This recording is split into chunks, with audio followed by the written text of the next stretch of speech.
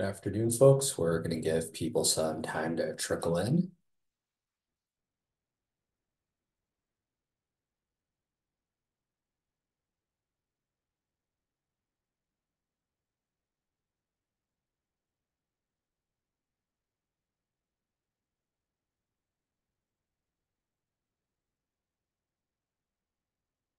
You're making me sweat, Brandon, not being here 10 minutes early.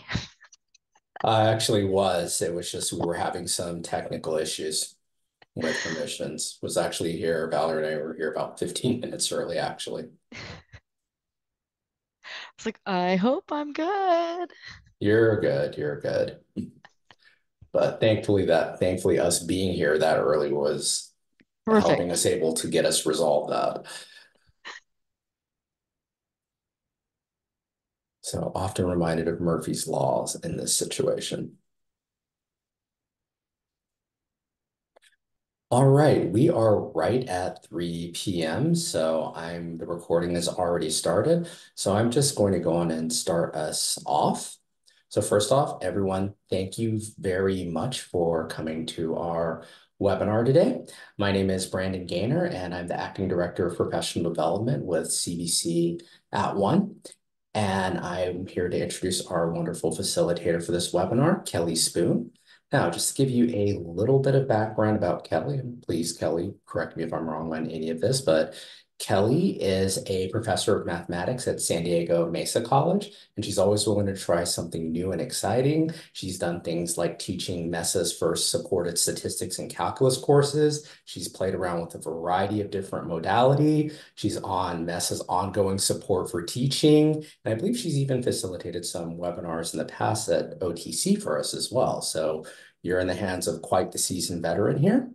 Now, during this webinar, we're also going to be linking to a survey for you to provide feedback. We'll be dropping a link in the chat around 30 minutes. My colleague Valerie will be taking care of that, and then roughly every 15 minutes after that. So we ask that you fill this out, not only to show us how we did, but so that we can create future programming that's more tailored to the needs of the system moving forward. Lastly, I want to emphasize that while At One does offer badges as proof of completion for our courses, we don't provide a badge for attending this webinar. However, if your institution does require proof of attendance for flex credit or professional advancement, we ask that you remain to the end of the webinar and complete a survey, but also make sure to check that box on the Google form that allows you to request a copy of your responses. You can use that confirmation as proof of your attendance. If your college does need something more, such as official documentation from the CVC, we ask that you email support at cvc.edu and we can help you out on that as well. So without further ado, I am going to turn things over to Kelly and she's going to get us started. And Kelly, just so you know, throughout the webinar, we'll be monitoring the chat and posing and giving time to answer questions. But if you also want to prompt the audience and let them know that there will be time for questions, I think that typically does a lot to assuage the concerns of people in the webinar. I do love an interruption. That's that's I, I do my best when I'm on my toes. I, I don't have ability to share screen right now though. Can you? Yes, I will me? take care of that for you right now. So you are now a co-host, so you should be able to share screen. Yes, I can. Thank you. All right, perfect. Getting everything reset up again, get my chat windows and all that available. All right. So thank you so much for that lovely introduction, Brandon. Um, and as I said, feel free if you have questions, uh, comments, anything you want to add, just throw it in the chat. Um, I am always happy to pause and just chat about something that is more interesting to us, uh, as I do in my classrooms. So before we get started, I thought it might be a nice place to start is to sort of just come up with a definition of active learning. I mean, everyone here signed up to come to a webinar, a 90 minute webinar about active learning. So hopefully you have an idea. Um, but I'm going to give you a minute to type up something in the chat. Uh, what do you define active learning as? And you can be snarky, uh, you can be a little sarcastic if you want. Um, this can be as short and sweet or as long winded, you know. Hopefully, a minute gives you time to type this into Chat GPT, have it give you an answer so you can provide it to us.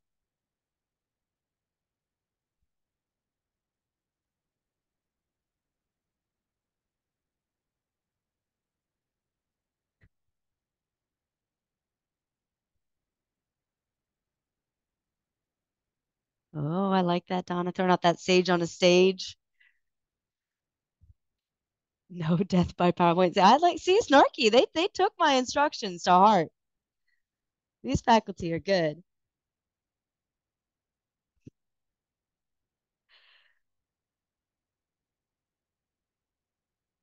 All right, exploring concepts visually and with tech. Time for group work, student centered. These are all lovely. There we go. We got our timer finished there.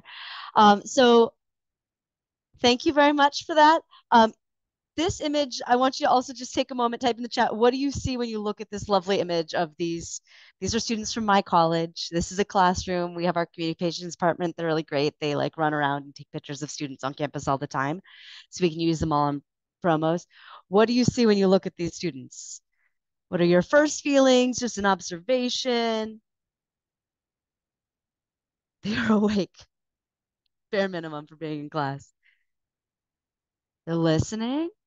They're attentive. Yeah. We got some technology. Yes. They are sitting in the back row. This is the back row of one of our classrooms. I mean, they do all seem like they're paying attention. I also think that this, yeah, they look like they're ready to participate, especially that the student right in the very front, like got the pencil ready, right? Hand on the chin, thinking. Um, but this is actually uh, one of our one of our classrooms that's more lecture based. It's I have pictures from the other part, but like I just thought the photographer taking this was probably going like this is a beautiful, diverse set of students, right? Like this is gonna look great on some promo material. Like this row really like check some boxes. Um, but the other part of that like DEI work is the inclusion, and the real question is, do these students feel included? Right? Um, are they really actively part of this? And so my definition of active learning um, was sort of that the students are actively engaging with the content. So they're not just actively engaging with each other, joking around, but with the content through some sort of meaningful activity. So there's a lot of design involved in active learning uh, to me. So I'm going to give us one more time to sort of share in the chat uh, so we have this sort of shared framework, and then I'm going to give you lots and lots of examples. Um, but our last little share out here is going to be about how does active learning this framework right? I like that not lecturing not death by powerpoint right? Not sage on the stage all those things you guys are putting those snarky kind of comments in the chat. How does it promote equity? Um, so i'm going to give you um oops that timer did not start a minute to respond to that. I will alex. I'll get you that link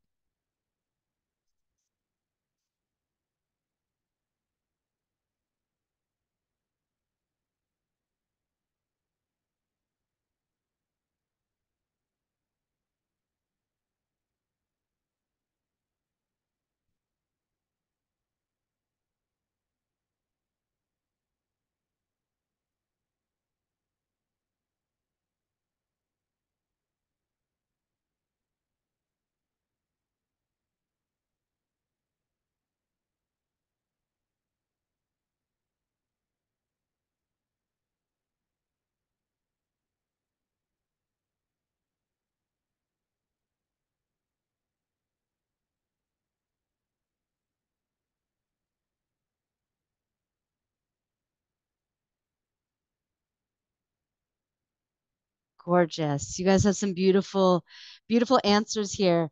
Um, right. I think a lot of faculty who are more lecture centered, they tend to think of their classes as being very active. But Donna sort of hit this right on the mark, right, with that comment. The student may be the only one in class who's less prone to be vocal. When you're teaching in a lecture based class and you're asking your question your questions out to the class and getting responses those responses tend to come back from just a few vocal students right and those students who are less likely to to speak up who maybe aren't as confident in their ideas aren't able to speak up. But then, sort of as Sab pointed out, everybody's involved and needed, right? Everybody has to be involved. Uh, everyone gets to sh- show their understanding. So, y'all have a, a, an excellent sort of list of reasons why active learning is an equity piece, right? That's why we do this work. Um, so, I love this quote by Dan Meyer, and this is from years ago, but it is sort of right at the same time that I was making this transition in my own teaching, uh, where he said, his phases of his career where I started by thinking about like, here's my ideas. They're super cool. Like, did you know that when I solve inequalities, like I tend to do everything with interval testing because interval testing is what you're going to use eventually when you get to calculus. So instead of like this less and, and there's all these like weird mnemonics remembering absolute values as opposed to understanding absolute value as a distance, he would you know, it was, it was all about this interval testing. So that was my ideas. And then it was like, okay, well, math is so cool. Let me show you how why math is cool, why it is so brilliant and fun and amazing. Um, and I finally took 10 years of teaching, finally come to the point where I'm like, no, no. Yeah, I have great ideas. I still I still think my ideas are brilliant. I still think math is brilliant, but it's all about how do I show students that they are brilliant, that they are able to do really challenging things and come up with these things on their own. Um, so going back to these students, right? This is the actual view of that classroom.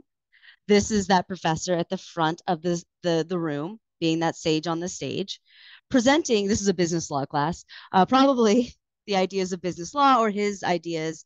Um, and it doesn't seem very much like the students are super involved. They are attentive, right? These students look like they're all paying attention. Uh, I think the photographer might have helped with that um, being present in the classroom. But the question is like, how how could we do this and make this a little bit better? So we hit this on the head um, in terms of like, I think one of the reasons that the active learning classroom promotes equity is that it really values student knowledge. So recently, Dan Meyer wrote a blog post about the everything on Twitter re- like resurfaces again and again, like these little battles. And right now there there's another inquiry based versus lecture based like thing going on on Twitter. And so he ha- responded and said, "Yeah, these are two ways to teach, but like in reality, they both have some merit." And in re- like the best way to think about this is either way, if you're not doing this starting with student knowledge, you're probably not doing a great job at either of the two, whether it's inquiry based or lecture based. Um, we also had someone mention belonging in the chat. I do think active learning and having students center their own ideas makes them feel like they have a place in the classroom, that their views are valid. So for me, that's a big part of it is this active learning for belonging. And if you haven't read it, um, Pamela Seda and Kendall Brown have this amazing book called Choosing to See. Um, and they give this framework for like equity in the math classroom. And looking through some of these words, I know it's a lot. I'll get you the slides, I promise, Alex. Um, looking through this little mnemonic, this ICU care, a number of these map perfectly to me to active learning, right? Including others as experts. Active learning is is basically saying, hey, you guys can be experts. The students can be experts too. It's not just about me telling you exactly what to do. Um, it's not about me being the expert at the front of the room. It's about the students being experts.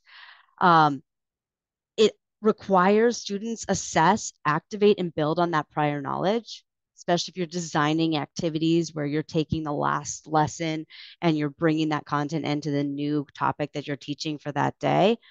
Um, it definitely releases control, right? I, I have to be willing to pivot and think on my feet and decide if we need more examples or something um, because I'm putting the control in the students they they they are the ones who are sort of in the driver's seat when I I mean I've designed the activity, but they decide where that activity goes and whether it you know is successful or it fails.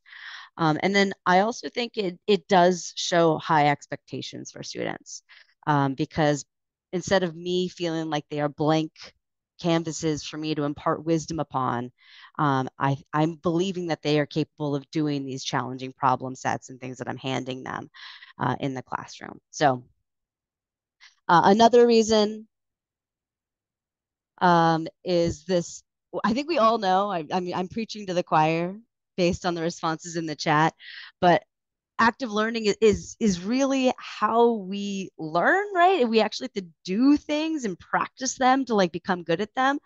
Like right now i am coaching my my, my five year old soccer team. And if i just went out for the whole hour long practice and showed them how to like juggle a soccer ball and dribble and shoot and they never got to touch a soccer ball there would be no learning happening, right? Like they would not be able to do anything at the end of the day. And so we know this, and yet you'll see so many classrooms that you walk by, probably your colleagues' classrooms, where that's just not happening, right? They're sitting up at the front of the class, basically showing students how to juggle a soccer ball and being like, okay, go home. You'll be able to juggle a soccer ball now. I told you everything. Instead of watching them juggle, giving them the feedback, you know, we do have to do a little demonstration. We do have to show something, but we don't have, that's not the whole point of our class time, right? Um, another piece is that it's great for building students' soft skills, right? That like the ability to work well with others, to communicate their ideas, to make other folks feel listened to so that they'll listen to their ideas. There's all sorts of like just we're we're turning them into like good members of society and good like future employees by having them work on these skills of working in these groups of students. Uh, and then the very last uh, thing I have to say is active learning is great for differentiation. If I lecture, that lecture is going at the exact same pace for every student, right? Regardless. And those of us who have lectured, and when we do lecture, because I still do lecture, I'm lecturing to the middle 50%, right? That's my hope because if I lecture to the top 25, 75% of my class is just going to be sitting there having no idea what's happening.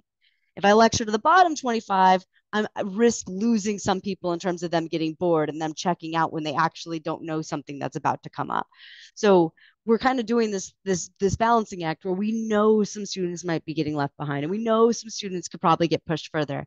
Um, but when we're doing active learning, it's a lot easier to design an activity where there's some scaffolding we can go over and support that student who needs that extra help and we can push that student that is ready for the next step a little bit further.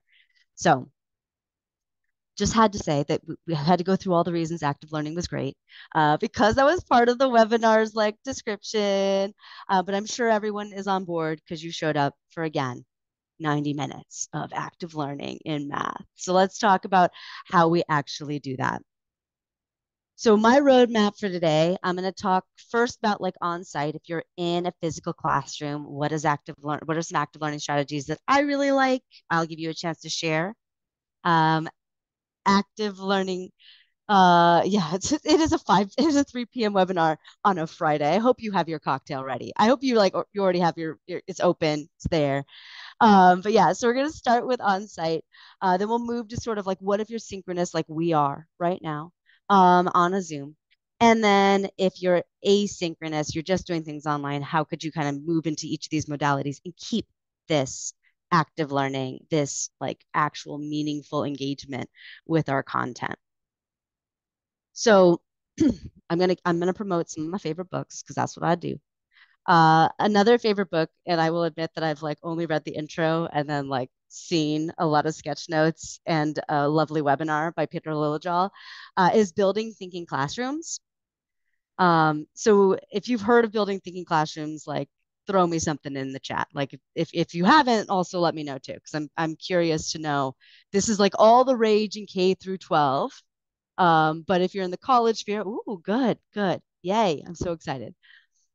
So Peter Liljedahl is a Canadian researcher, yes, um, who went to a whole bunch of math classrooms and just observed, tried to figure out like what was working. And then he did a bunch of like little tiny experiments to see what he could do to like get students actively thinking in a classroom.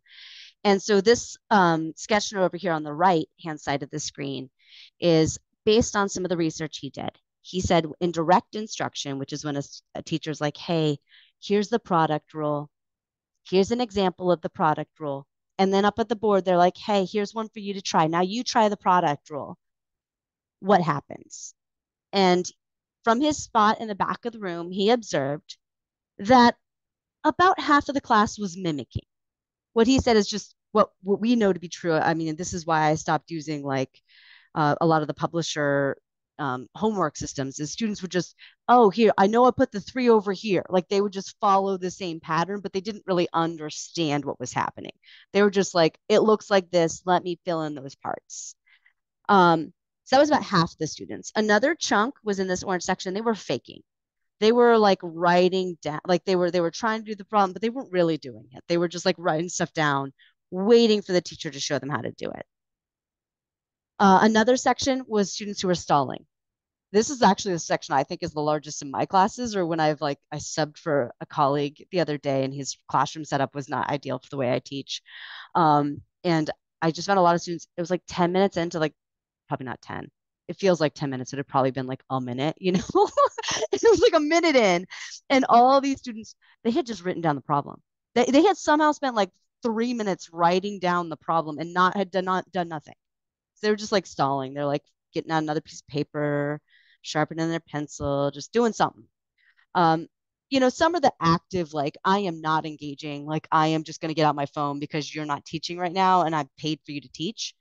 And then there's this little section, this green section of the students who are actually trying to do what we are hoping they're doing, which is reason. You just taught me something.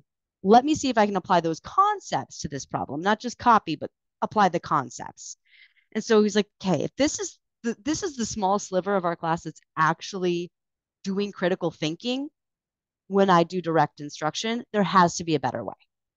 So Peter Liljedahl gave a couple of things. And so I've taken a lot of them into my class.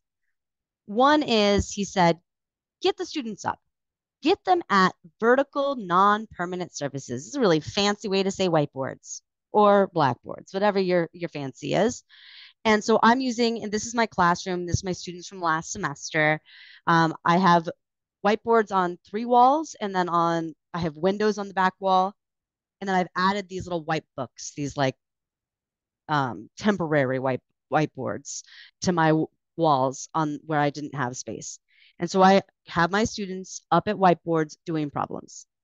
This way nobody can stall, right? I can see exactly what they're doing. They can mimic, sure. They, but I'm bringing in, yes, I will. I will get you that Wipebook link. Um, but they are doing so. Like this is great. Like I love it. Um, my students are at the boards working together. I have them switch markers. I like go around, I ask them reasoning. But like for me, the biggest thing I love about this is the ability to give very quick feedback. When I have students all working in my classroom, I can just look around the board and be like, "Hey, wait, wait, you guys, I think I think you forgot your your this." Here, I got that. Um, and I can be like, "Oh, hey, hey, did did you guys remember that there was a? Did you see that composition of functions there? Did you?"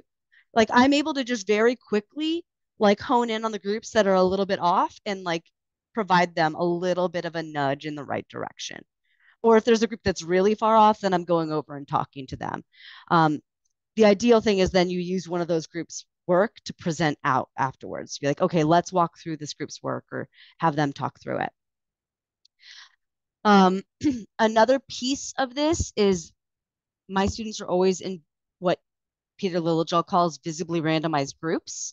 So I just have a deck of cards um, and I took out all of the spades and I shuffle them. And then there's three members of each group, which Peter Liljedahl says is the best number to make sure that there's enough difference in opinions and like understanding, but also to make sure that no one can really hide. Right. In a group of four, there's there's that one person can be like, oh yeah, you guys, you guys are good. Bye. Um, and then the reason he says to do the visibly randomization um, is that so students know you're not like targeting them by putting them in a particular group. Um, and another piece is that like if for some reason one student is typically the one who does all the work or is typically the one who just sort of like they go into a group and th that group doesn't know them, right? They're not coming in with any preconceived notions about like, oh, you know, Karen doesn't typically they're they're just like, oh yeah, karen what do you think? And so like all of a sudden karen's like, oh crap, like they don't know I'm the slacker. I gotta, I gotta actually, yeah. and they're like, oh God, I gotta actually like contribute. But it's great because like there's the status that students sometimes bring into the classroom, maybe based on what they look like or maybe whatever it might be, that just kind of disappears with these visibly randomized groups. My students are constantly, and, and they all are like in it with each other. Like everyone knows everyone else in my classroom. And I tell them, like, when we finish this sort of board work, y'all make sure everybody in your group is on the same page. Make sure everyone understands no one is left behind. Um, and they are really, really great in terms of like, I, I like watch them teach each other, like, oh, wait, yeah, for this one, we needed to be able to factor. So let me, I'll show you, I'll show you quickly how to fact, like they're teaching each other those little bits of incoming stuff that they might be missing. Cause I'm teaching a, a co-requisite calc class. So I'm teaching calculus with no prerequisites at all. So these students are coming into calc and they don't necessarily have any prerequisite math class at our campus. Um, I will show you really quickly while we're here. Um, someone mentioned thin slicing. I think Cynthia, yeah, Cynthia mentioned thin slicing in the chat. So what this typically looks like, Peter Liljedahl has more rules, like only verbal instructions, all, all sorts of rules. I'm a little more loosey goosey because, as I've said, not read the book. I just looked at some sketch notes and like listened to a, a keynote. Um, but I have my students like we just like this is from the power rule day. So I'm like, hey, here's some questions. I just grabbed these from, I don't know, a website, a textbook. I don't remember where I got them. And I'm like, here you go. Okay, now now do these ones. Right. So we went from this sort of like pretty basic power rule application. Okay, there's a coefficient. Right, that makes it a little bit little bit more fun. We got the constant multiple for those of us in the math side. I have one that looks like a power rule but isn't because I'm really trying to train them to pay attention to our variable. Um, and then we've got some with fractional exponents. So we're going like, okay, now we're just same, put the fractions into math, but we're okay. So I gave them this at the board, gave them some time, went around, we discussed. Uh, there was a whole lot of pi e to the pi minus ones on the boards, a whole lot, like maybe one or two groups out of 13 realized that was a constant. And those were my students who had taken like calculus before. Uh, I was like, okay. But it was it was a good learning moment. It was a great learning moment. And so we talked about all of these and okay, okay, let me make it a little bit harder. And said, okay, here's some more. So I'm like, okay, the, the pi x to the square root of two seems scary, but is not that bad. It's just some gross constants, right? Um, and then again, I threw in another constant just to like make sure we're paying attention. Like I want them to always be like thinking before they just start doing. Um, and then we had a good discussion because again, this is a class with no prerequisite on calculus. Like why can, why do we have to deal with that square root why do we have to rewrite that as a rational exponent before we begin and you know what would happen if we didn't so we had like a lovely discussion about this starting from there um, and then we just kept going. I'm like, okay, let's just make it a polynomial. It's like easier, but kind of harder. And you see, I'm also mixing up the notation because previously I'm saying using that prime notation. Now I'm using this different. And so I'm like constantly like, and then we had a whole discussion about the notation here and what it meant, meant and why it is different and what's the same. Um, and we kept going with, you know, different, and these are from just different resources. I just screenshot things and threw them into slides and said, let's go. And I said, okay, let's find the equation for the tangent line.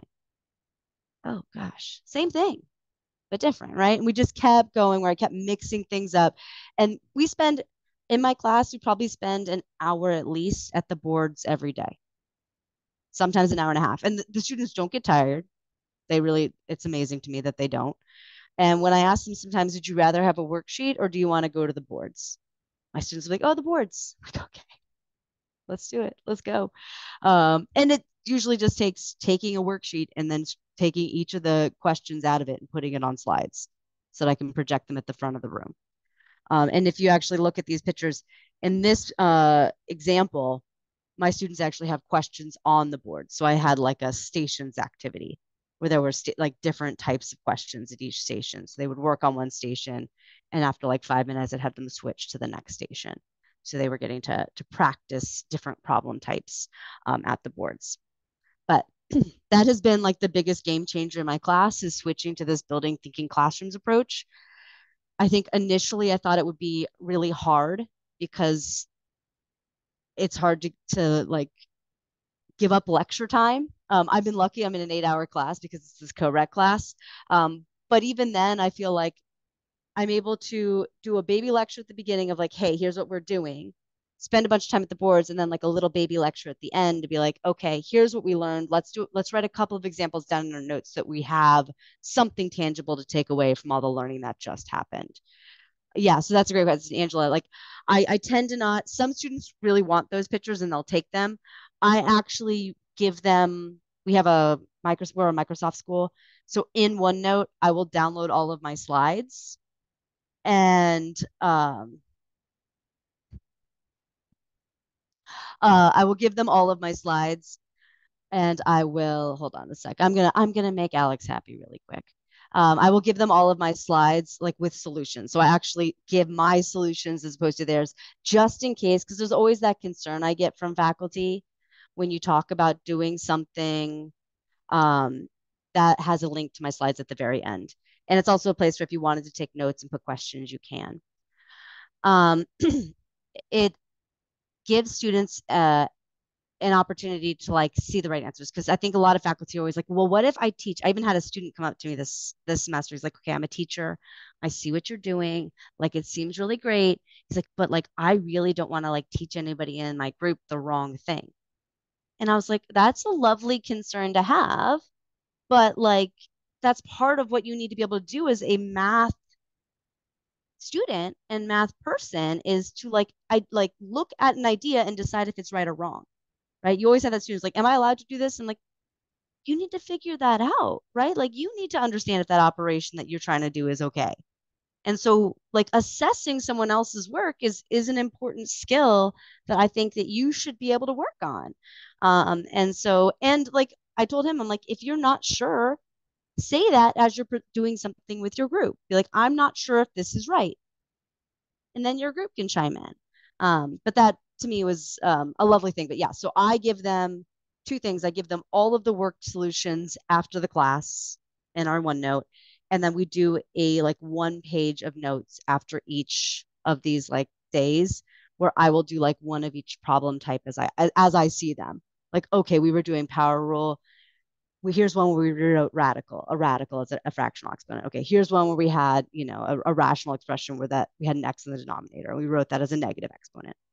Um, so that was that's sort of how how I tend to give them the notes for this, but some of them will take pictures. Um, another thing I love, yes, I love that Julio of the idea of taking pictures. I I tried to do that, but then I got really uh bad about like because I, I want to like show it in real time, and I just I sometimes I'm bad about it. I do take pictures. They are they just live in my phone. I never actually make it into OneNote.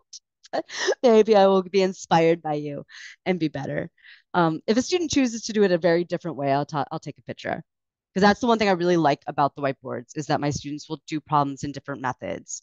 You'd be like, oh, look how much clever, much more clever it was to rewrite this before you took the derivative than to use the quotient rule as it was. Um, another uh, favorite for in class stuff is card sorts. Um, I have three favorite types of card sorts. Uh, so that's the picture that you've been seeing of a lot of my students working in a card sort. This is from um, a statistics class, and this is actually the first day that they have seen two sample um, anything. So we have just finished our test on one sample, like one proportion and one mean, and then we're moving on to two sample uh, with means and proportions. And I just gave them a card sort which had two from the previous exam and these two new ideas on it and and had them sort of sort them and realize okay it's, it's a really similar process but slightly different. Um, but there are three types. I'm going to actually have us play with an activity. I'm going to make you do active learning as if you haven't already been engaging because you're excellent students. Who showed up at 3 p.m on a friday um, let me get you this code. There it is but i will also throw it into the chat. Copy. Control v.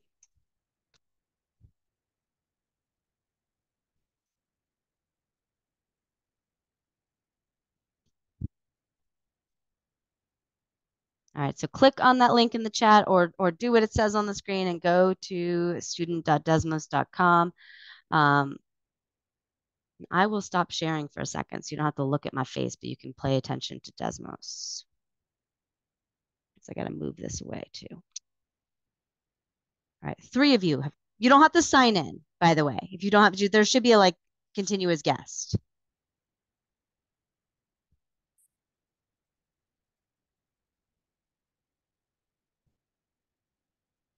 Yes, thank you. And I will show you what it looks like. If you've never played with the Desmos Classroom or the Desmos Activity Builder, um, I will show you what it looks like from the faculty side um, in a second, but you're going to get to experience it as a student. All right. So um, as as a as a note, um, I usually if this was the first time, there's a little bit of help. To make a group, if you actually like grab a card and stick it on top of another one, it will make like a group that you can move around. Yes, and uh, as Nydia has pointed out in the chat, like these are amazing. Desmos is one of my favorites, especially because you'll see I have a lot of control. Release control was part of the ICU care, and I'm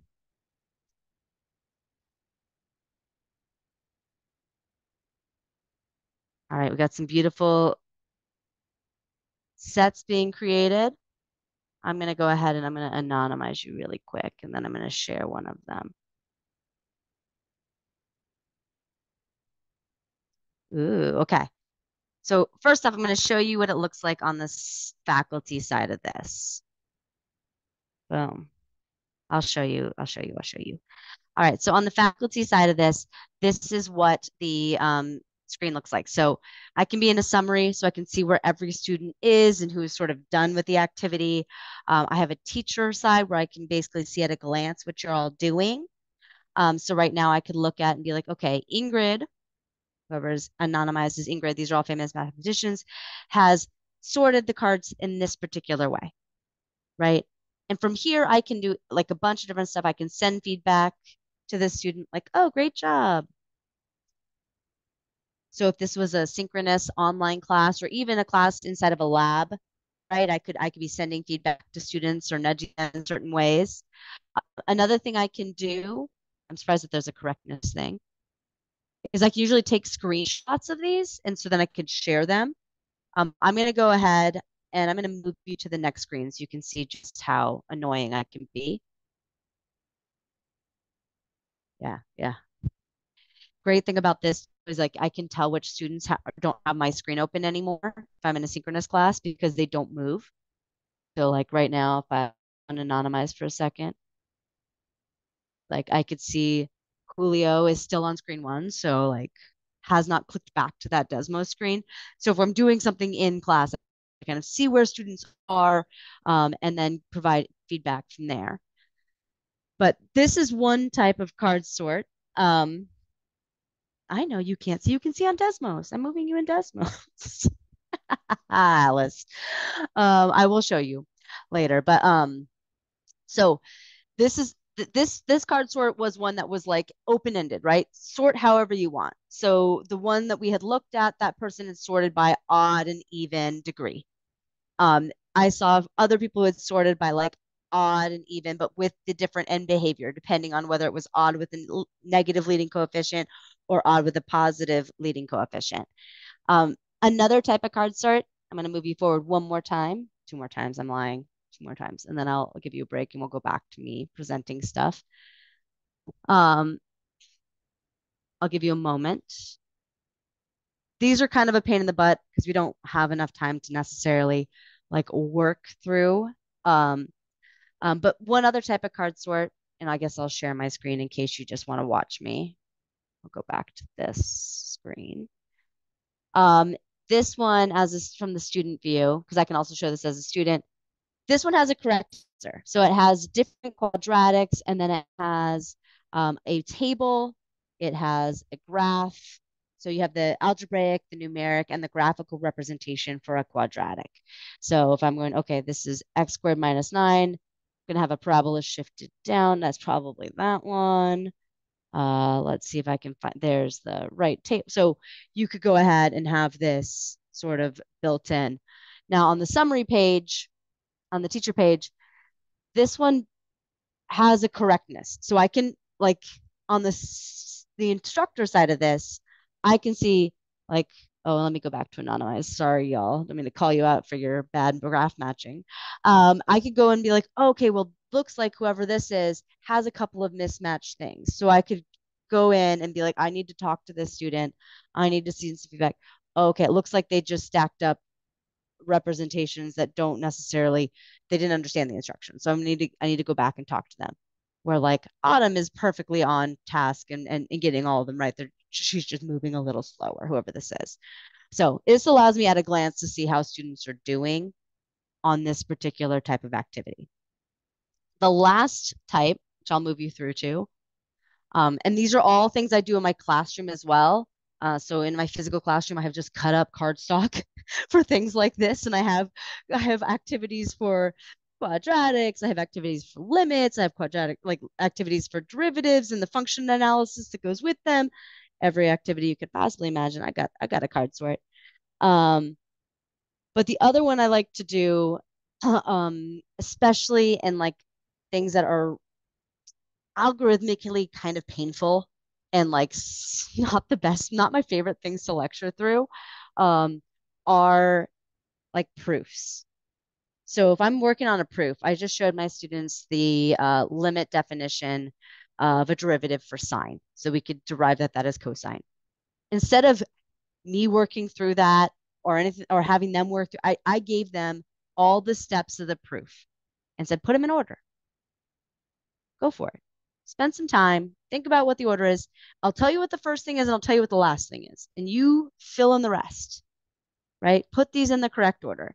And so this is a Desmos activity with that same idea, but this is what I have them do in class. And then I'm like, okay, once you think you guys have figured this out, what is the step? What was the move, the mathematical move that was made between this step and that step? Um, so this has been another, uh, I think, way that has really helped students, especially students who are struggling um, with the concepts, is sort of this idea that like a proof is a puzzle, right? It's not like this this thing where I just like pretend I understood to derive the product rule that I needed to add and subtract this this weird thing.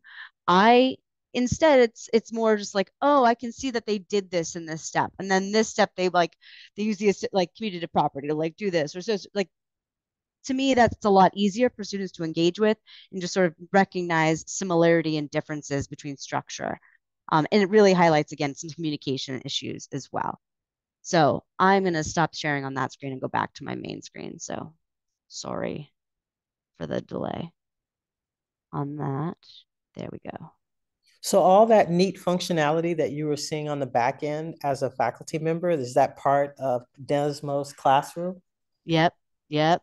So there's all sorts of lovely things. Um, I can pace students so I can tell them like what screen to be on. I can leave it open so they can go wherever they want. Um, but if I like want to be like, hey, let's talk about this, I can also do like screenshots and then collect them all and show them. Um, it's it there's a whole host of functionality and you can bring a ton of different stuff in. We've just scratched the surface, but I'm gonna have you play with some more uh, if you haven't seen some of these other features because while card sorts are mine. Um, and no, there is no cost. Desmos is free. They did get bought out by Amplify, but that classroom stuff they've said is going to be free forever. They have promised and promised and promised that it is free. Um, it is free to us, free to students, and really amazing. And they're so super good with accessibility too, which is amazing um, in terms of like, yay. All right. so as I said, three favorite types of card sorts. Um, open-ended is great when you're introducing things you just want students to kind of notice and wonder but you want them to have something physical to do that with um, so you're maybe exploring types of discontinuities or as we saw with that polynomial end behavior sort of recognizing maybe what that's all about um, putting them into correct categories. So i do a lot of that with those multiple representations the algebraic numeric and graphical.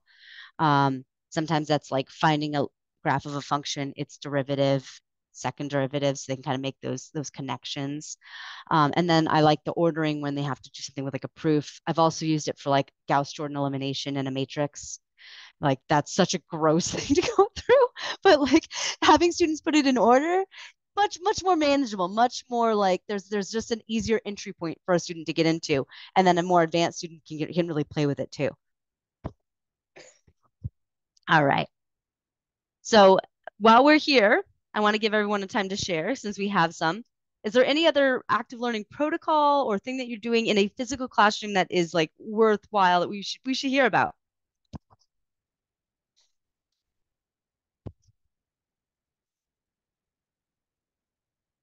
IF-AT testing, what is that about, Donna?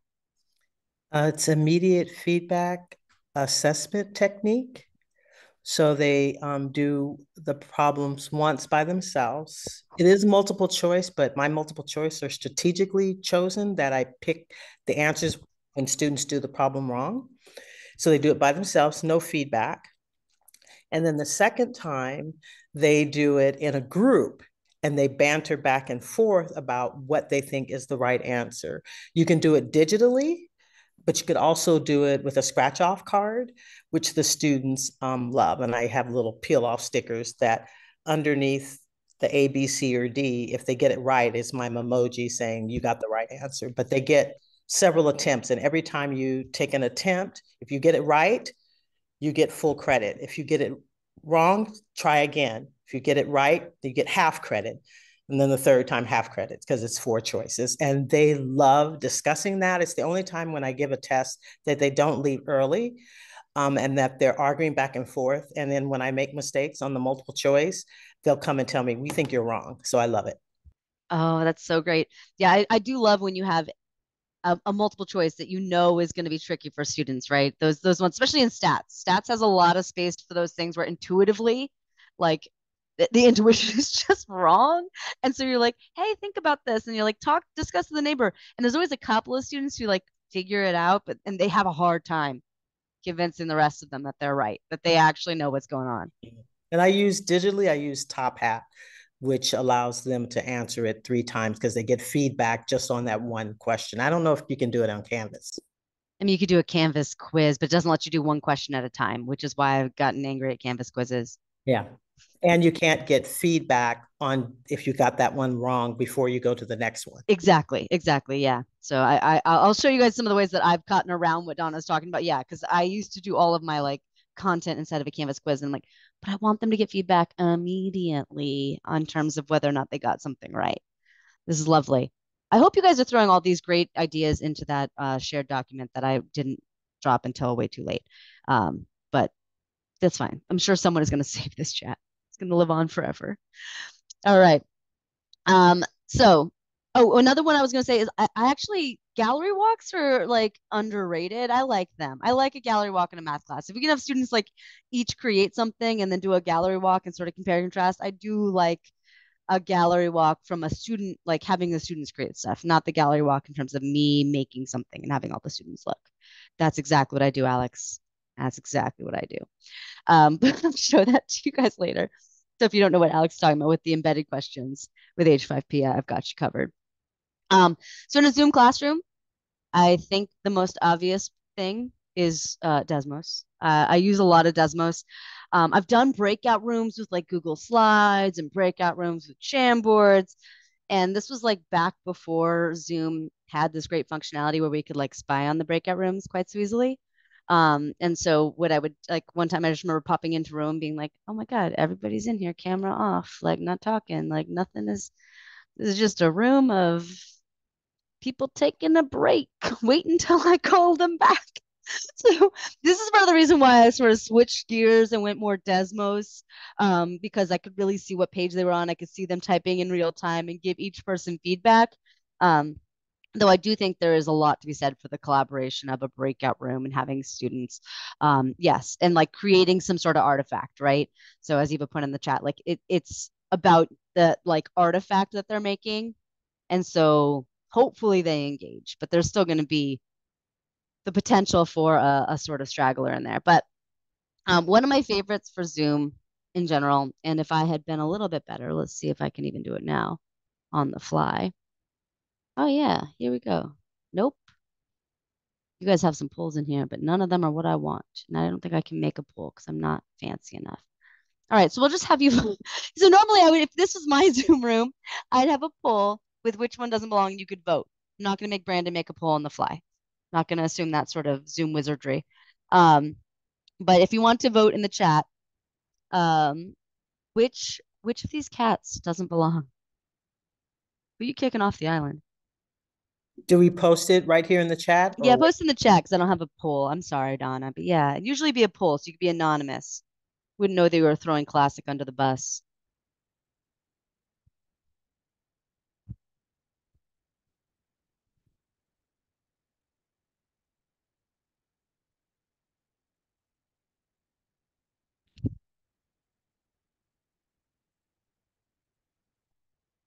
All right, no one, no one's gonna. Thank you.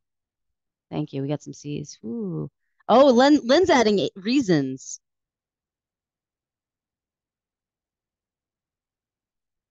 No one's gonna vote D off the bus. So,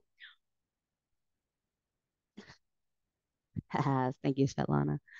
All right, anyone want to share why they voted for their particular cat?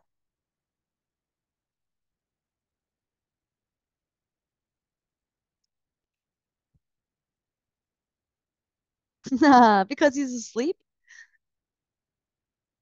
What is the thirty dollars? But that's why I picked D. No, idea.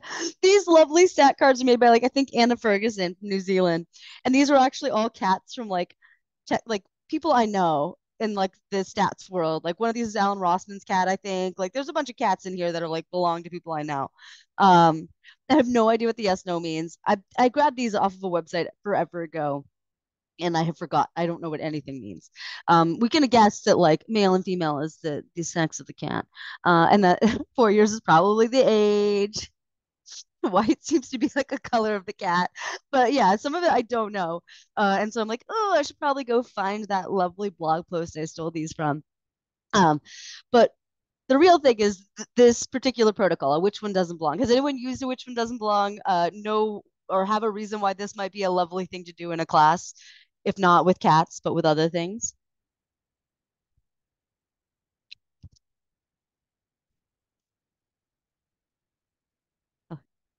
There is no one correct answer.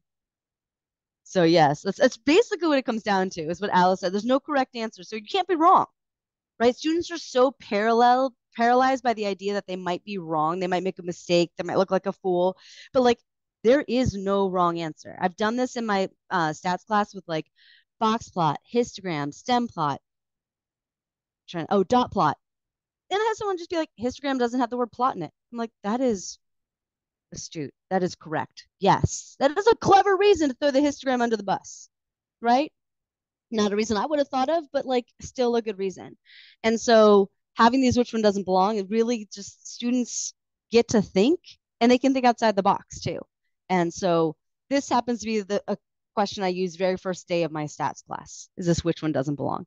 Be like, hey, this is us already analyzing data, looking at data, right? We have this data about cats. I don't know what half the data means, but we have this data about the outside the cat box, this data about cats.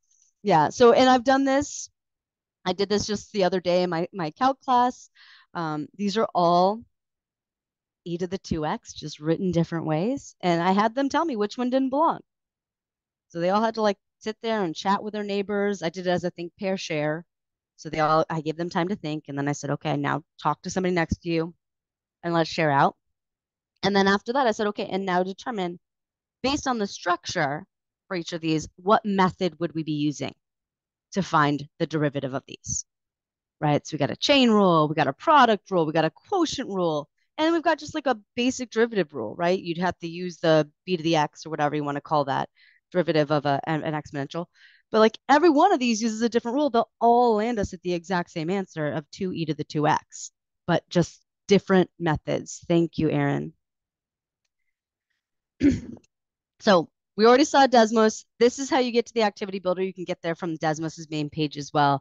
But I just go to teacher.desmos.com. Um, I'm going to show you a couple of other features within Desmos now. So I'm going to I'm going to bring back that uh, activity. In fact, I'll just drag it over here. Um, I'm going to move us over to what a which one doesn't belong would look like in Desmos. So if you want to minimize my screen and go back to the Desmos, you can actually play around with this. If you want to just watch me because you don't want to be active, I guess I'll give you that option.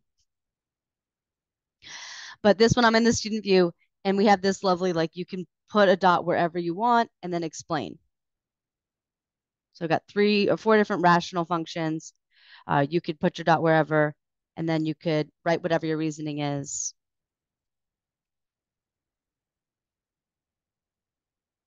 And you can see where everyone else voted. So this is another really cool feature within the activity builder. It does require that you like typically find someone else who's coded up something beautifully. Um, but that is that you can actually have these like interactive where students are seeing other students votes or students are seeing these other things that people have said. Um, So we can see right now, most people are voting for this particular function right here.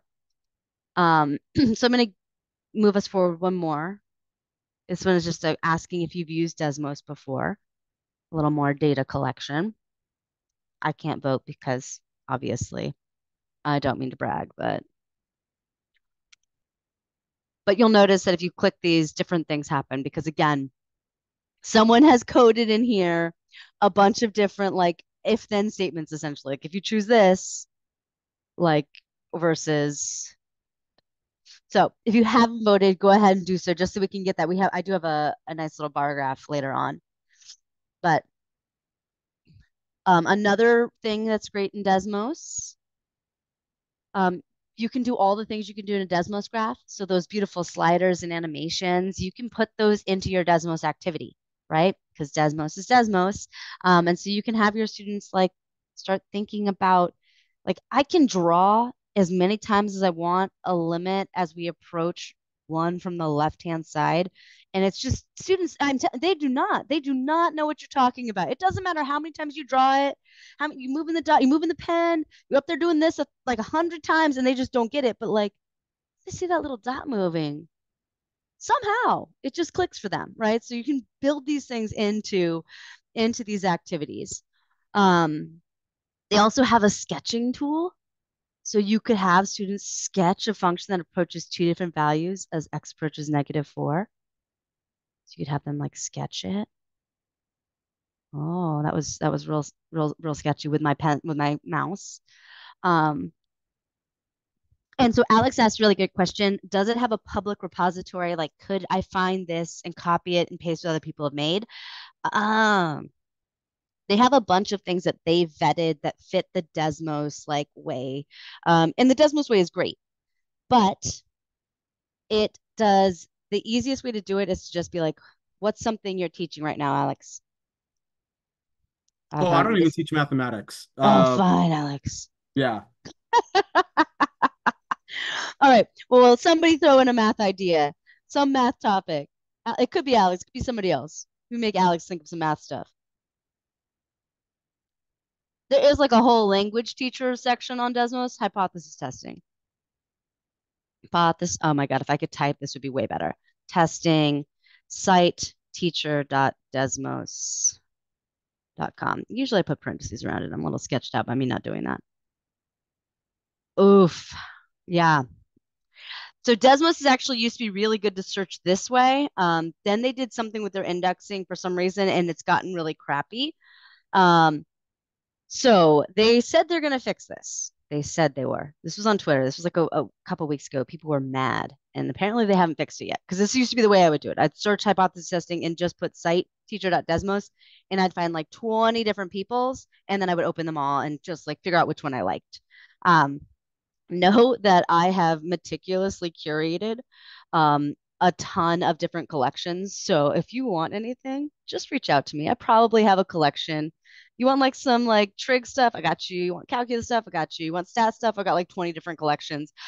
I can hook you up with like collections that I have saved of other people's stuff that you can play with.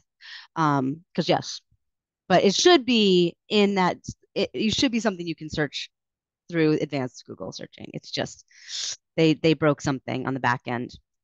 Um, all right, I'm gonna do one more. Um, it really depends how much coding you need to build your own. Um, technically not much. You can build a really low key one with not much. Like you can bring in a picture, you give them the little like multiple choice. In fact, let me just quickly show you. Like I said, I'm adaptive teacher dot Desmos. Oh, come on. Um, if I went to do a custom activity and create a new one, uh, example for webinar, create. Come on. All right. Um, it, like basically, here's your blank space that you can put whatever you want. So you can be like, hey, I want to put a graph in here. You can put a graph in. Typically, you might want like, oh, I would like to write something to them. Look at the graph. And then I'd like them to say something. And you can even have it show their responses to each other. right? So you can make it a little more interactive. So it's basically you just click on these things to like, oh, I, I want a checkbox. You do have to make sure that like it's kind of annoying the check boxes are just the check boxes. They don't have anything text. You have to put like a text box of like what they're selecting before the checkbox. Um, the one thing is that none of this gives that feedback. Like as Donna was saying, the nice thing about her AT testing, like th there's that feedback piece before you go on, right? So there's a lot of folks that have like self-checking and it's easier to just find somebody who has a self-checking, copy it, and then edit it to your way. Um, but like I said, I, I can, I got lots of resources if that's what you want to play with. Um, okay, so that was Desmos. Oh, there was something else I want to show you in Desmos. One more thing. Um, not the example for the webinar. Yes. So I don't know if we want to get all the way into it, but I love the last thing you can add to this activity builder, which is a polygraph. So a polygraph, polygraph, polygraph. So a polygraph shows every student 16, whatever the hex you want. These could be images. You could just type in math text. Like you can choose anything. Like they don't have to be math. You could just like take pictures of things, throw them in there. It's basically guess who. And in a synchronous class, it matches students up as a pair. So after you go through a couple practice rounds of like, hey, if you were not a child of the 90s and you didn't learn how to play guess who, right? Then then it'll teach you what guess who is. That yes, no questions, right? Like, does your person have glasses? Those questions. And so then you'll watch students go through and like ask questions of each other. So like right now, ooh, Ingrid and Christina, go, go, go. so like those two faculty have now been matched up with each other and are playing guess who about these trig graphs because I happen to grab a trig graph one. But as a faculty member, once um, the guests are, I shouldn't have shown the thing. Once Christina asked a question, it would show up. And so as a faculty member, I love to use these when we're first seeing a function family for the first time because I can then look and see the, the word, the vocabulary that students are using. So I use this in stats when we like look at histograms for the first time. So you'll see students being like, is it big on the right? Like, what the hell does that mean? What does big on the right mean? They just, they, they, they, cause they're trying, they're struggling to come up with ways to describe this graph. They don't have the vocabulary for, right? Not yet. And so I'm, I'm on the back end, um, the slide thing, this thing, I think. Um, I'm on the back end when students are doing these, looking at these questions. Ooh, like, does the graph pass through the origin? I'm like, hell's yes. And sometimes I'm just calling out little helpful things like, oh, I like this question. Because then everyone's like, oh, that's a good one. I'll ask that one too. Um, but usually I'm just kind of silently grabbing and screenshotting these and bringing them into a slide and then organizing them like while students are playing because I'm like, okay, look, like these questions, okay, more than three peaks. Hmm. We're like coming up with all of these ways to talk about this. And then I'm like, especially with the stat stuff where we don't have a lot of language. I'm like, oh, this is really a way to talk about modality. Or, oh, this student's really getting at symmetry. So I'm kind of putting them into these groups. Then we get the vocabulary in a little lecture and then they they always want to play again now that they have vocabulary. They're like, "Can we do that again now that we actually know what we're doing?" I'm like, "Yeah, yeah, we can do it again. Don't worry." Um, so I love. Oh, look at that amplitude greater than two, bringing a tear to my eye. Using some math language. Let's hope you have a math instructor. You're not paired with somebody, some interloper from chemistry. Um, so yeah, so that that that is one of my favorites, and it's you can do it for anything, anything you want images of. Um, it could be like I said, math. It doesn't have to be a graph. It could be anything at all. Um, and then I will stop pacing you so you can go wherever you want. I will go ahead show you that we do have we have a lot of, we have the one LeBron of Desmos. Uh, we somebody who's pretty good at it. But then we've had a couple people who've never used it or have only used the graphing calculator or really haven't used the activities. So I'm glad I was able to show you this tool because our final little spiel, right? We've, we've made it to our, our last piece I want to talk about, which is taking it to campus, right? If, if I'm a fully online class, what does my fully online class look like? Because this is a lot of synchronous stuff, right? And One thing is I love Zaretta Hammond's structure for intellectual pro like I think she calls it uh, something processing, information processing. Um, she says you start by igniting curiosity, right? So every one of my every one of my modules, I start usually with a Desmos activity that has a little bit of a reveal after each slide, right? Or something where I'm just sort of building that curiosity through like that little moving point. What do you think that means, y'all? Um, another key I use in that Ignite a lot is um, from this Choosing to See book that that the the book by uh, Kyndall Brown and Pamela Seda is um instead of saying just what do you notice, what do you wonder about a graph, I used I would start with like a discussion board in my pre-calculus class. It would be like write down five things you know, like giving them sort of that tangible number. Like what are five things you know about this graph, and like what's one thing you wonder, or two things you wonder. Sort of pushing them to be curious after they sort of have done that. Like, hey, there is existing knowledge, right? That I can I can link this to and that was always as a, a discussion board where they would have to post before they could see other people's right so they're kind of thinking about things um, then i chunk up my not like the actual content and then we come back and there's usually a, like an auto graded quiz and then another desmos activity so i do a lot of, i lean pretty heavy on desmos activities um, because I think they're really hard to like chat GPT is just so much of a pain in the ass to go back and forth. And then usually I can have something moving or manipulating on the screen where you really can't, you, you got to just do it, right? Like you have to play around. And it's more about what your thinking is than it is a correct answer for a lot of it. Um, and then they finally, and this is my stats class, they do have a discussion board where they link the content to their lives in some way. So in this case, they have to figure out um, how stats is related to the field that they're interested in or something they're interested in and come up with observational units and variables for their their interested field. Um, um, Alex maybe mentioned the H5P. So I've also built in uh, in that chunking in my content. Um, I want students to be actively engaging when they're in my online class. So I tend to use a lot of H5P so that students have these little knowledge checks built in. So as they're moving through a page, they can check and see if they got a question right or not, and they can retry it. Usually they have, oh, there you go. Like usually they have feedback. Usually I'm pretty good and give them feedback. Um, like, ugh, that one. Yeah. So then it gives them that feedback uh, of what they're doing. Um, H5P is just interactive HTML. It's not secure in any way. So like students could hack, like look at the code and figure out the right answer to these things. So it's not like you want to use it for real assessments. Um, but this is all powered through LibreText or Libre One, which is free to us at the California community colleges. Um, but it's just, as Donna said, the annoying thing about Canvas quizzes, I couldn't give students feedback on a particular question before they moved on. And so they might misunderstand some important topic that they needed to then go do the next thing. And it was very annoying to me that i could i couldn't give them like that feedback right away of like no no you need to relearn that. Um, you can also do that within like a my open math. My open math has the ability to like grade individual questions before they move on.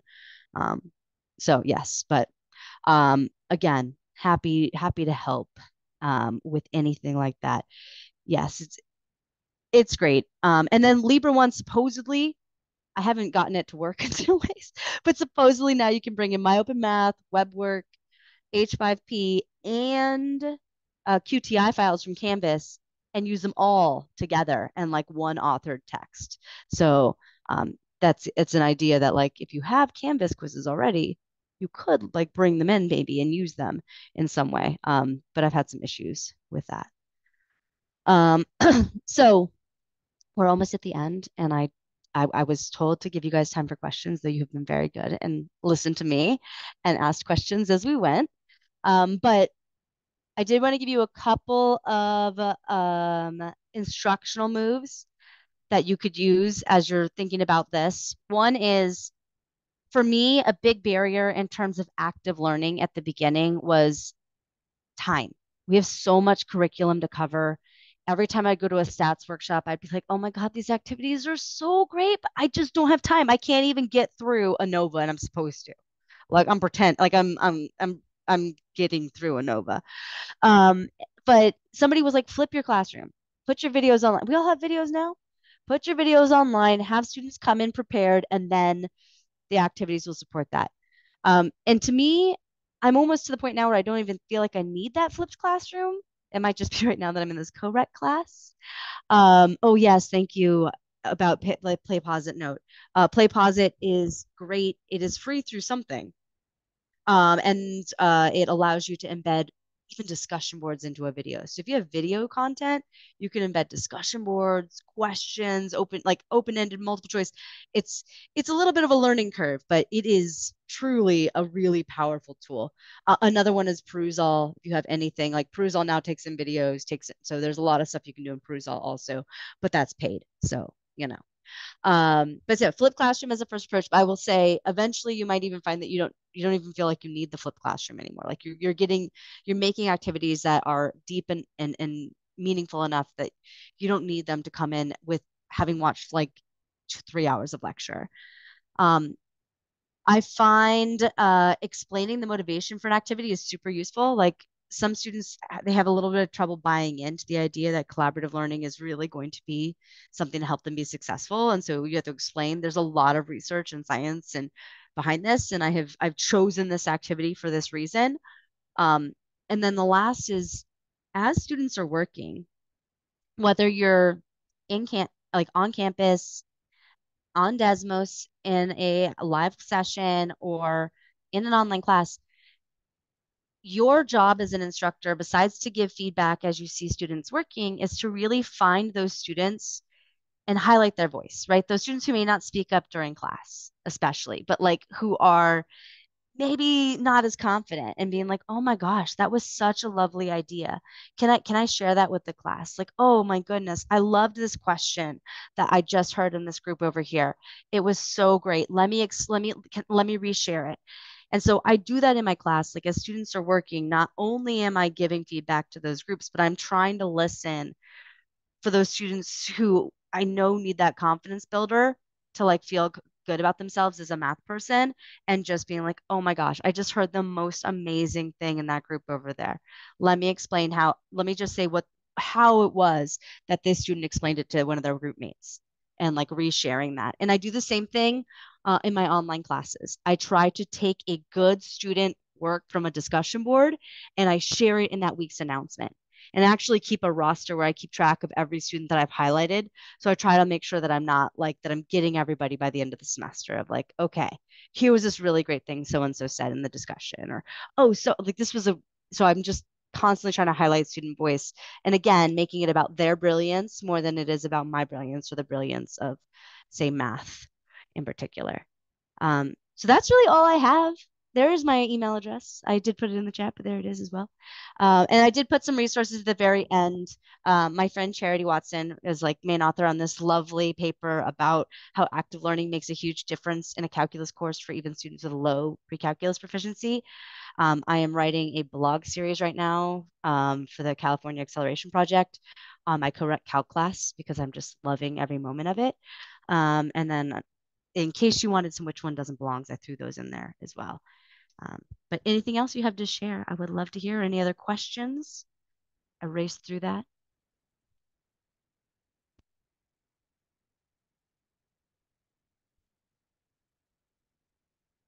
I just I couldn't type it fast enough.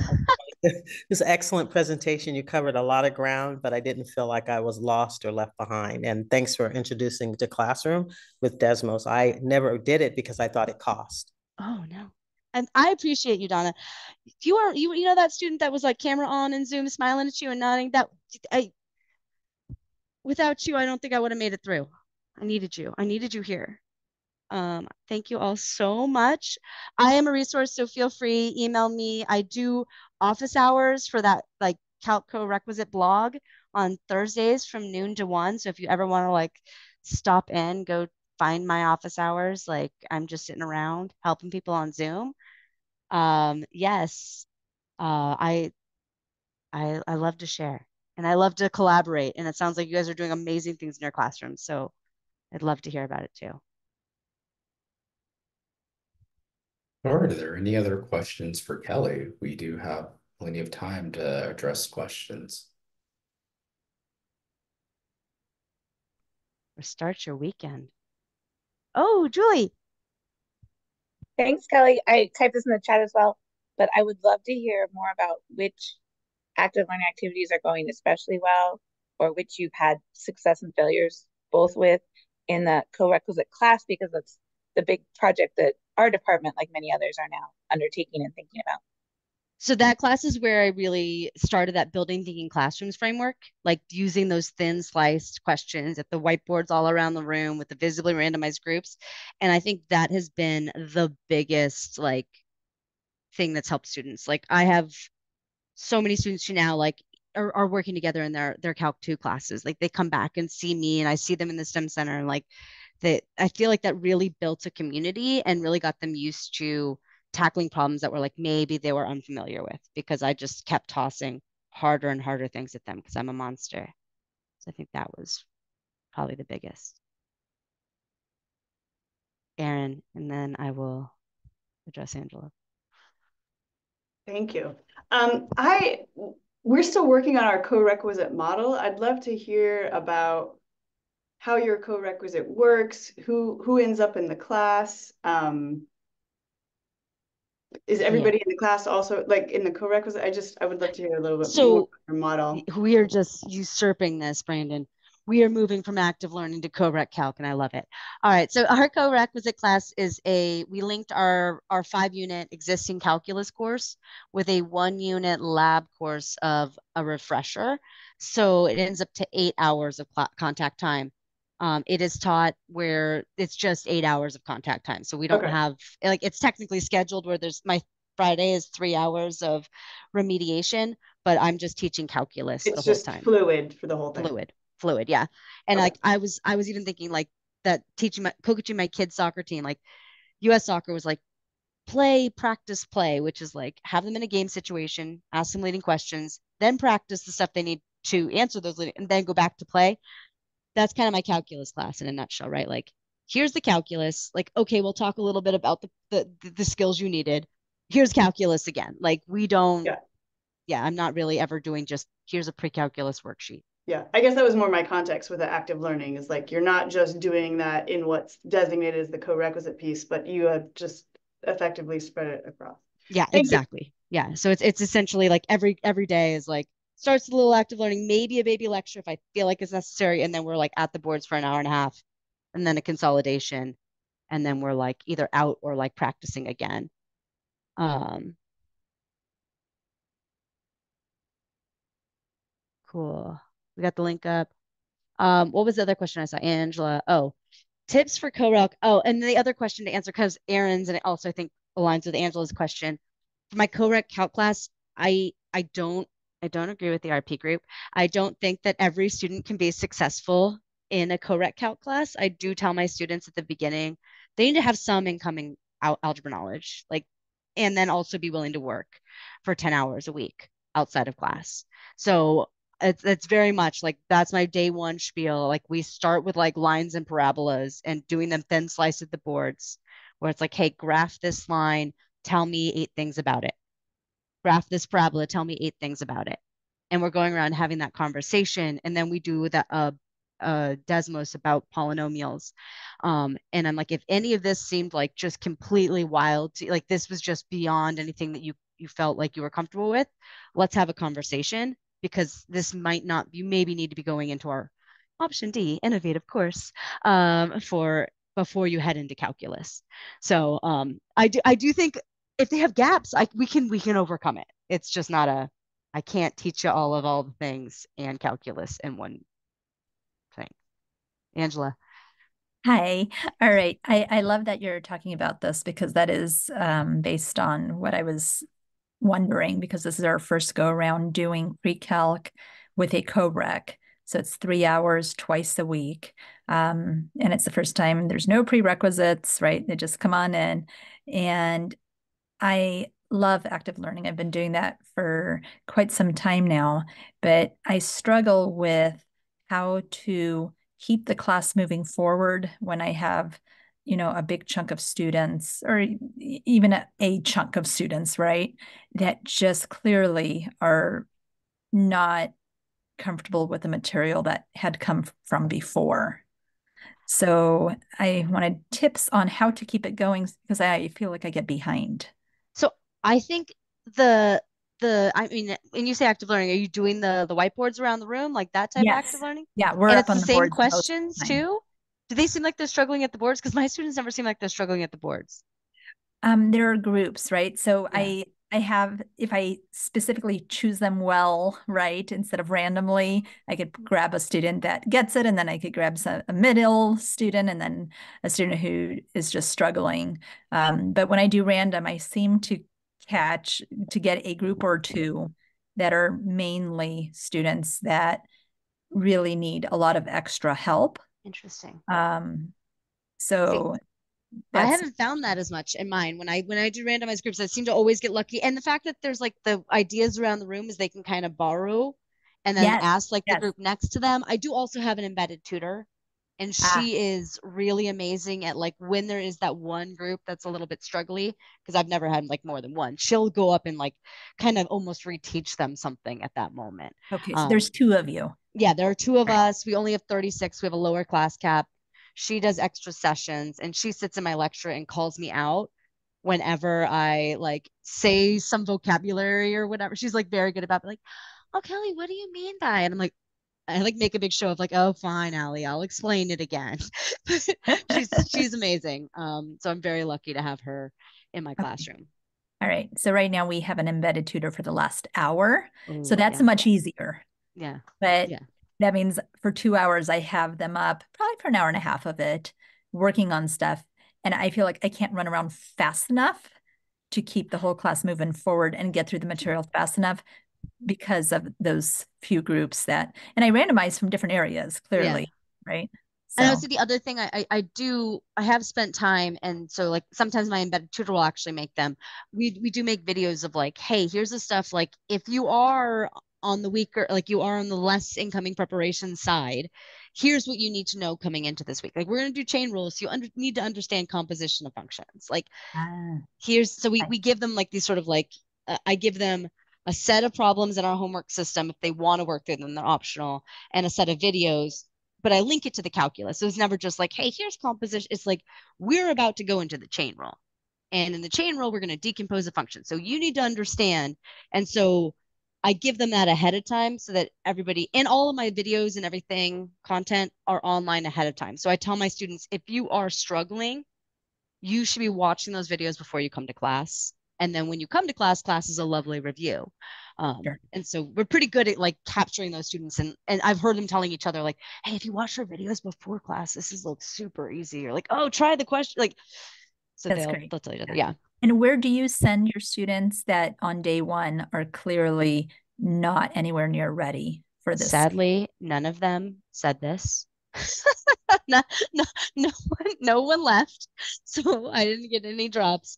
Um, I would do you have a them. class? Do you have a class to send them to? I would have sent them previously to our college algebra with support. I wouldn't have sent them to, that's not even in our sim pipeline. I just think that the algebra skills matter more than the trig skills or the pre-calculus skills. Like if they understand the algebra, we can do things. Like we can figure out everything else. Um, so that's where I would have sent them. But now we'll have think, you know, maybe an innovative course that they can go to. Is Oh, that hopefully. innovative course the non-STEM major course? No, that'll be for the STEM. So we're we're we're Oh. uh, revising a pre-calculus. Oh, so you're ish doing what that. AB seventeen oh five is suggesting you do. We were trying to figure out what innovative is, so we might be reaching out to you. I mean, I think everybody's trying to figure out what innovative is. but yeah, we're all in the same boat. We're all trying to, I mean, I know a couple of colleges that are going option A that are like, yeah, cool. Let's just see how it goes. They're That's- braver than I am. you. But yes, reach out. All right, do we have any other queries for Kelly? Well, then Kelly was gracious enough to also leave her email in the chat as well if you want to reach out to her. And we're just going to go on and move towards wrapping up. So once again, thank you all so much for gracing us with this time on a Friday at 3 p.m. Seeing that we had 40 plus attendance, not including the presenter and staff, was a very nice surprise. Now, once again, please look to the chat for the survey link and complete it. Valerie will be dropping that in again if she hasn't already. The survey is again set up to allow you to receive a copy of your response, which can be verification of your attendance. Again, if you experience any issues or you need some type of additional verification, please reach out to support at cvc.edu and we'll get you taken care of. Lastly, we hope that you register for some of the other webinars that we'll be offering throughout the term. I'll drop a link in the chat shortly after I'm done talking, but we have a robust suite of webinars across a wide variety of applicable topics, not just subject-specific ones that we hope to see you all at. And we did see a couple of questions that chat about when will the slides be up and will the recordings be up. The slides Kelly's posted a link to, but we'll also get that from her and have that up on our site. The videos are taking a bit longer because we want to make sure that they're captioned properly and accessible to the widest possible audience. While we won't send those directly to folks, just periodically check back up on our site. I assure you we're moving as fast as we can on that one, but as I'm sure you can imagine, for a 90 minute webinar, there is uh, with multiple people speaking, that is quite a bit to do. So thank you all once again for showing up, and I hope you have a wonderful weekend and rest of your day. Thank you all so much. Thank you, Donna, for your lovely